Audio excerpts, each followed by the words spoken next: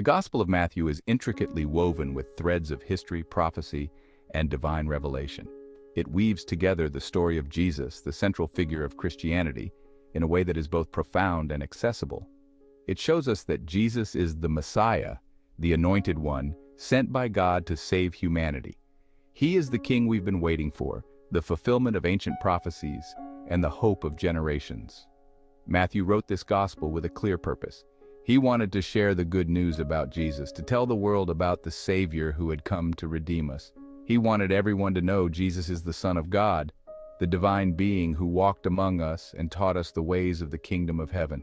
Matthew carefully shows us Jesus' family history, tracing his lineage through the generations. He goes all the way back to Abraham, the father of the Jewish nation, establishing a connection to the promises made by God. He goes back to King David, the revered king of Israel, highlighting Jesus' royal heritage. This is important. It proves Jesus is the rightful heir to the throne, the king who was prophesied to come. He is the king. He will rule with peace and love, bringing a new era of righteousness and justice. This gospel is exciting. It's full of Jesus' amazing life, filled with miracles that demonstrate his divine power and compassion. We learn from his teaching, gaining wisdom and insight into the nature of God and his kingdom. And we are amazed by his great love, a love that reaches out to the marginalized, the broken, and the lost. Matthew invites us to know Jesus, to enter into a relationship with him and experience the transformative power of his grace.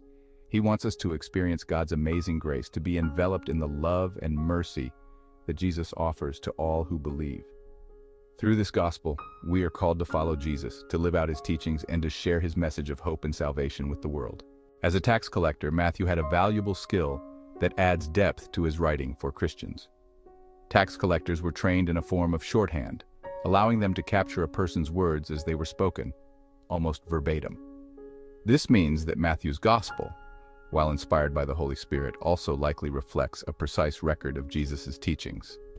For instance, the Sermon on the Mount, found in chapters 5, 7, is believed to be an accurate account of Christ's message. Matthew's ability to document words faithfully makes his gospel even more compelling. Matthew, as an apostle, likely wrote his gospel between AD 55, 65 during the early years of the church. At this time, many Christians were Jewish converts, which explains why his gospel focuses heavily on a Jewish perspective. Matthew's primary goal is to demonstrate to the Jews that Jesus is the promised Messiah. His gospel frequently references the Old Testament to show how Jesus fulfilled the prophecies of the Jewish prophets. He carefully traces Jesus' lineage back to King David and uses language familiar to Jewish readers. Matthew's deep care for his people is evident in his thoughtful and detailed presentation of the gospel. Matthew's primary goal is to present Jesus Christ as the King and Messiah of Israel, and he emphasizes this by referencing the Old Testament more than the other gospel writers. Throughout his gospel, Matthew highlights over 60 instances where Jesus fulfilled specific prophecies. He begins by tracing Jesus' lineage back to Abraham, establishing his connection to the Jewish heritage. From there, Matthew frequently refers to the words of the prophets, using phrases like, as was spoken through the prophet. These references include key moments in Jesus' life, such as his birth, ministry, and significant events that align with the expectations set by ancient prophecies, showing how Jesus fulfills them perfectly. The Gospel of Matthew serves as a great introduction to the fundamental teachings of Christianity. Its clear, structured format makes it easy to navigate and find discussions on different subjects.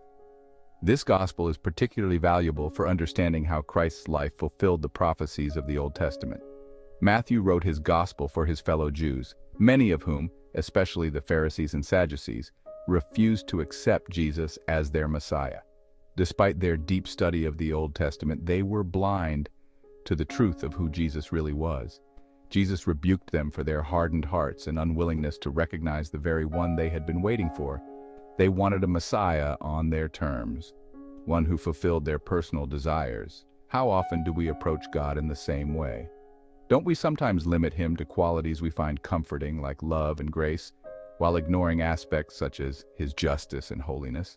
Like the Pharisees, we risk creating a version of God that aligns with our preferences, essentially making him into an idol.